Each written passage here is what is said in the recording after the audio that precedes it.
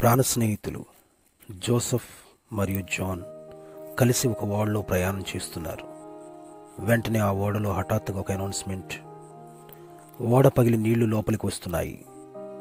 ఎప్పుడు ఓడ బద్దలైపోతుందో తెలియదు కనుక అందరూ లైఫ్ జాకెట్స్ వేసుకుని సముద్రంలో దూకి ప్రాణాలు కాపాడుకోండి. అందరూ దూకుతున్నారు.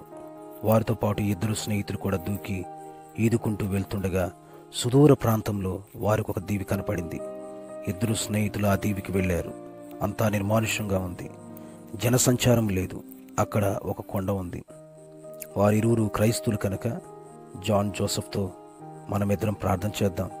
దేవుని వేడుకుందాం. దేవుడు మనకు సహాయం చేస్తారు అని చెప్పాడు. ఒకరు కొండకు ఒకవైపు మరొకరు కొండకు మరొక వైపు వెళ్ళి ప్రార్థించడం మొదలుపెట్టారు. జోసఫ్ ఇలా ప్రార్థించాడు. తండ్రి నాకు చాలా ఆకలిగా ఉంది. నాకు ఆహారం కావాలి అని అడిగాడు. వెంటనే దేవుడు ఒక చెట్టును మొలిపించి కాయలు ఇచ్చాడు. వాటిని తిని తృప్తి పొందాడు. జోసెఫ్ మళ్ళీ ప్రభువా ఒంటరిగా ఉన్నాను. నాకు తోడు కావాలి. ఒక అమ్మాయిని నాకు ఇస్తావా? అని అడిగాడు.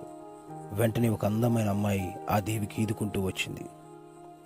ఇద్దరు హ్యాపీగా చెట్టాపట్టాలు వేసుకుని తిరిగారు.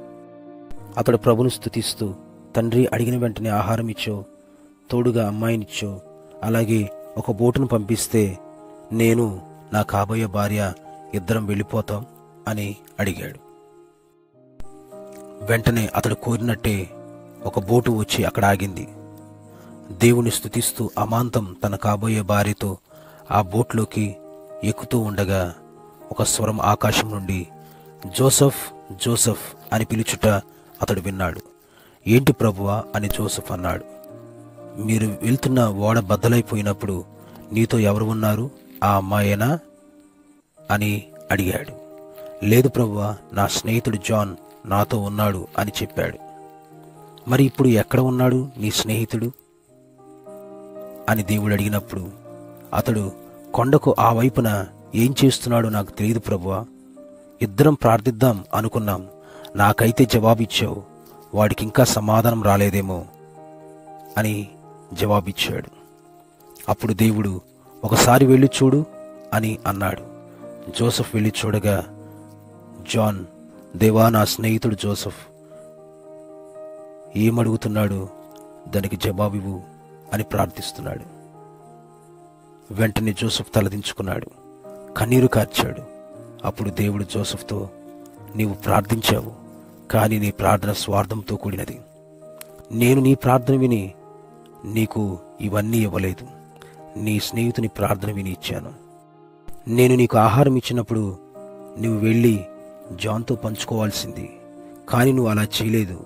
కానీ నీ స్నేహితుడు మంచి మనసుతో నీకోసం ప్రార్థన చేశాడు. అని చెప్పిన వెంటనే జోసఫ్ తన తప్పును తెలుసుకున్నాడు. దేవుడిని తన స్నేహితుని క్షమాపణ కోరుకున్నాడు. జాన్ని హత్తుకున్నాడు. ఈ కథ వింటున్న నా ప్రియ సహోదరి సోదరుడా నీ కొరకు ఎవరో ప్రార్థిస్తున్నారు. వారు నీ దైవజనుడు కావచ్చు నీ తోటి విశ్వాసులు ఆత్మీయులు కావచ్చు. నీవు కూడా ఇతరుల కోసం ప్రార్థించు.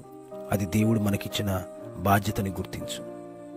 మొదటి తిమోతి పత్రిక రెండో అధ్యాయం ఒకటి నుండి మూడు వచనాలలో అందరి కోసం ప్రార్థన విజ్ఞాపనలు యాచనలు కృతజ్ఞతాస్థుతులు చెల్లించాలని పౌలు హెచ్చరిస్తూ ఉన్నాడు. ఇది మంచిదియు మన రక్షకులకు దేవుని దృష్టికి అనుకూలమై ఉన్నది అని తెలియజేస్తున్నాడు. కనుక ప్రియదిన బిడ్డలారా నీవు ఎరిగిన వారి కొరకు మాత్రమే కాదు నిన్ను ఎరగని వారి కొరకు ప్రపంచ దేశాల కొరకు ప్రపంచ దేశాల్లో జీవిస్తున్న ప్రతి ఒక్కరి కొరకు నీవు ప్రార్థించాలి. దేవుడు క్రైస్తవుడిగా అది నీకు అనుగ్రహిస్తున్న బాధ్యత. ఈ రోజున బాధ్యతను విస్మరిస్తున్నావా? ప్రార్థిస్తున్నావా? ప్రార్థించుట మనకు చాలా ఉత్తమమైనది. మనం ప్రార్థించేవారుగా ఉండాలి అని దేవుడు మన నుండి కోరుతున్నాడు కనుకనే ప్రియ దేవుని బిడ్డలారా ప్రజల క్షేమం కొరకు స్వస్థత కొరకు విడుదల కొరకు వారి రక్షణ కొరకు అనుదినము ప్రభు పాదాలు పట్టుకుందాం. మనం ప్రార్థన చేద్దాం. పౌలు తన స్వజనుల కొరకు ప్రార్థించినట్లుగా మనము కూడా మన ప్రజల కొరకు మనం ప్రార్థన చేద్దాం. ప్రియ సహోదరుడా సహోదరి ఈరోజు నీవు నేను ప్రార్థించాలి. ప్రార్థన ఇతరుల కొరకు మనం చేసే విజ్ఞాపనగా మారాలి. మన కొరకు మాత్రమే కాదు మనం ప్రార్థించవలసింది.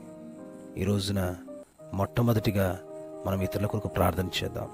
రోగుల కొరకు మనం ప్రార్థన చేద్దాం. బలహీనుల కొరకు ప్రార్థన చేద్దాం. నిరాశ్రాయులుగా ఉన్న వారి కొరకు ప్రార్థన చేద్దాం. భయంకరమైన స్థితిలో ఉన్న వారి కొరకు ప్రార్థన చేద్దాం. చివరిగా నీ కొరకు కూడా నీ కొరకు కూడా నీవు ప్రార్థన చేసుకో. కనుక ఈ రోజు నుంచి ప్రార్థిస్తూ ఇతరుల కొరకు దేవుని శరణు వేడుకుందాం. దేవుడు మిమ్మల్ని అందరినీ దీవించునుగాక. ఆమెన్. ఆమెన్.